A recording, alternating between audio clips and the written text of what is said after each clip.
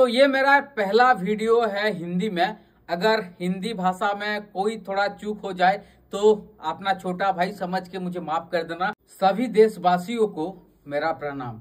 मैं निवेश पाणिग्राही ओडिशा राज्य की बलांगीर ज़िले का रहने वाला एक युवक हूँ। विगत दिन में हम लोगों का सेवा करते आए हैं सोशल मीडिया के थ्रू से रिपोर्टिंग करके। हमारा एक संबलपुरी चैनल है, जिसका नाम है मोर समिया वही मोर समिया के माध्यम से हम लोगों का प्रॉब्लम सरकार तक पहुँचाने की कोशिश करते हैं। जो सरकार में होते हैं, उनका ध्यान आकर्षित करने की कोशिश करते हैं। बहुत सारे गरीब ऐसे हैं, जिनको की घर नहीं मिलता है, जिनको अच्छे से स्वास्थ्य की सुविधा नहीं मिलती है, जिनको की अच्छे खाना नहीं मिलता है, उनके लिए हम आवाज़ उठाते हैं। उनका जो प्रॉब्लम होता है, वो सरकार को हम दिखाते हैं।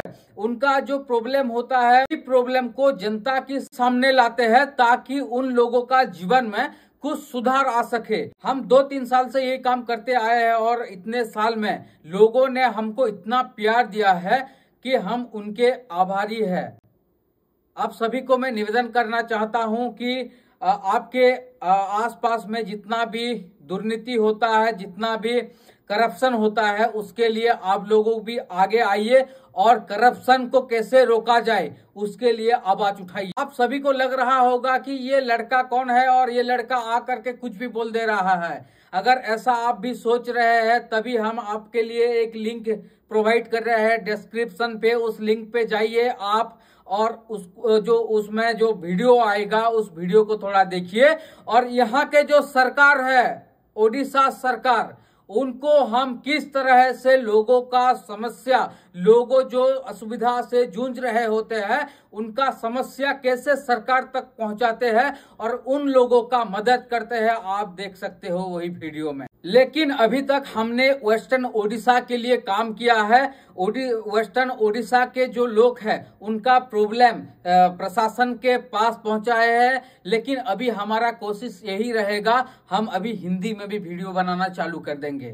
ताकि हमारा जो समस्या है ओडिशा के पश्चिम विभाग है हो या फिर ओडिशा के जो भी प्रॉब्लम है, हम चेष्टा करेंगे कि वो समस्या सेंट्रल गवर्नमेंट तक पहुँचे, ओडिशा की समस्या सरकार तक पहुँच पाए, सेंट्रल की सरकार तक पहुँच पाए, ये हमारा कोशिश रहेगा।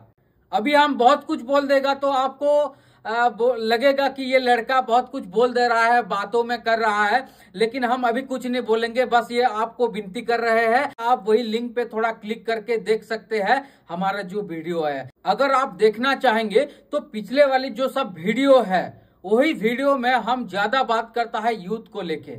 आज के यूथ, जो यूथ को अच्छे रास्ते पे चलना चाहिए, लेकिन वही यूथ आज गलत रास्ते पे जा रहा है, जिसको मेहनत करना चाहिए, वही यूथ।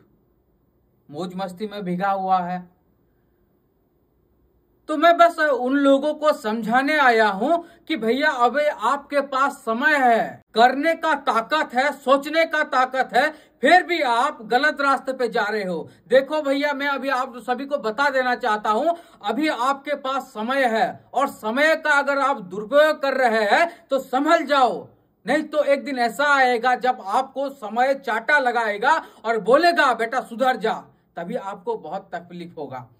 जब आप पीछे मोड़ के देखेंगे, तभी ना आपके पास समय होगा, ना सुधरने का वक्त होगा।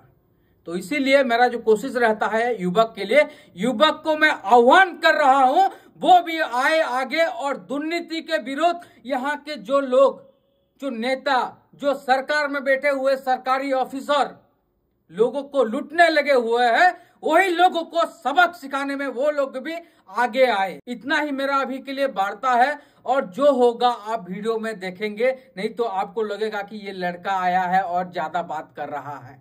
हम लेकिन बात में नहीं करते हैं। विश्वास, हम कर्मों में विश्वास करते हैं। जैसे भगवान बोलते हैं, कर्मण्य बाधिका रस्ते, माँ फले सुकदाचना माँ कर्म फले हेतुर्भुमा तो संगे स्वकर्मणि इसका अर्थ आप सभी को पता होगा, भगवान बोलते हैं, कर्म पे ध्यान दो, फल का आशा मत करो। तो ये मेरा पहला वीडियो है हिंदी में। अगर कोई गलती हो जाता है तो आपका छोटा भाई समझ के मुझे माफ़ कर दीजिएगा। इतना ही आज के लिए बढ़ता है और आगे मिलते हैं। जय हिंद!